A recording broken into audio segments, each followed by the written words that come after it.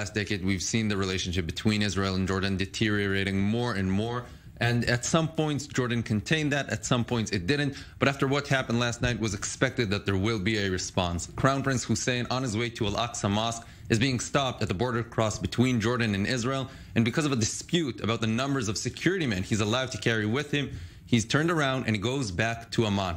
To understand why is this so sensitive to the Jordanians, we have to understand that officially for the Jordanians, the guardian of the Al-Aqsa Mosque is the king of Jordan. It's the Jordanian Waqf that's that's the sovereign there. They're responsible for it. It's part of the title of the Jordanian king. Prince Hussein, from his perspective, is being stopped on the way to visit family property, which is one of the most important properties in the Arab and Muslim world. He's not allowed to visit one of the most sensitive points.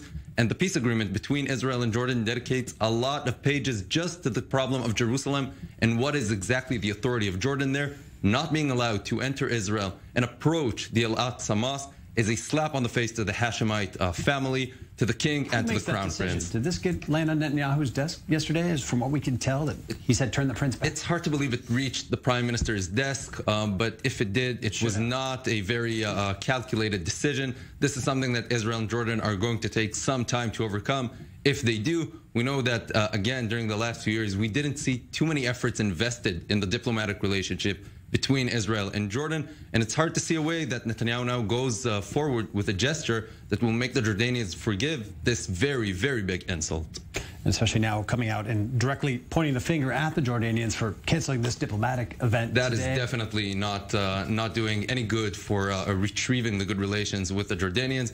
Eventually, Netanyahu will have to come around and try to get the Jordanians to sit at the table and overcome this. This was a very uh, bad uh, uh, um, um, uh, dispute between Israel and Jordan. This hurt the respect of the Jordanians, and they won't forget this very easily.